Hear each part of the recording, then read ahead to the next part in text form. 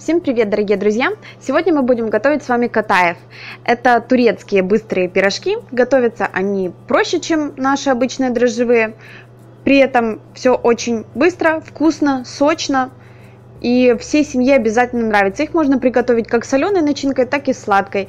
У меня в этот раз тут будет и такая, и такая начинка. Все покажу по порядку. Для начала займемся тестом. Так как я всегда использую живые дрожжи, подогрела слегка молоко и воду в микроволновке до температуры тела приблизительно. Добавляю сюда дрожжи и сахар. И все это хорошенечко перемешала до растворения дрожжей.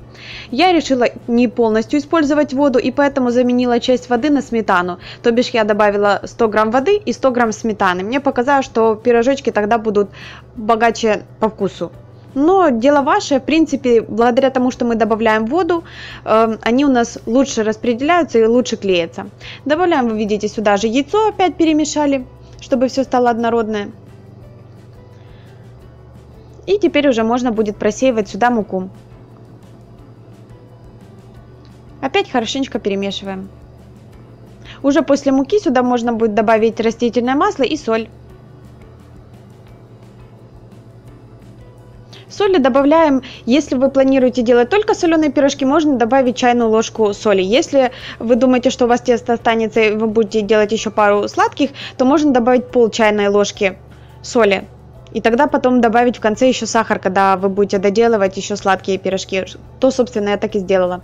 Вначале я добавила сюда 200 грамм муки, но мне показалась немножечко жидковата консистенция. И я досыпала еще буквально там 15-20 грамм муки, чтобы получить нужную консистенцию. Консистенция как сметана.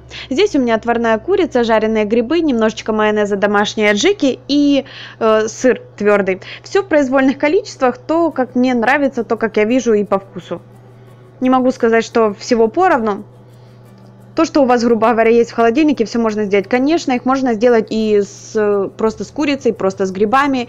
И их можно сделать вообще постными изначально на воде и без яйца. Вот, и можно сделать с капустой, с картошкой. В общем, дело ваше. В конце я добавляю сюда четверть чайной ложки соды. После того, как мое тесто подошло. Подходило оно у меня в течение 40 минут в теплом месте, накрытое полотенцем. Сода нужна, она гасит э, дрожжевую кислую среду и убирает частично вот этот дрожжевой запах. И благодаря ней наши пирожочки будут и тоненькими, и пышными в то же время. И начинаем жарить. Выкладываю сюда немножечко теста и распределяю по сковородке. Буквально через там минутку-две на среднем огне тесто покрывается вот такими вот пузырями и сюда кладу начинку. Начинка для этого именно должна быть готовой. И вот так вот залепливаю. Доводите свои пирожочки в духовке И вот такая вот красота вот получается.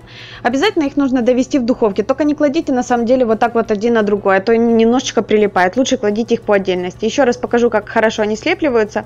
На сковородке мы дожидаемся только того момента, чтобы тесто перестало блестеть. Когда оно перестает блестеть, все, мы кладем туда начинку и начинаем слепливать. Потому что если мы пережарим, то наши блинчики не слепятся.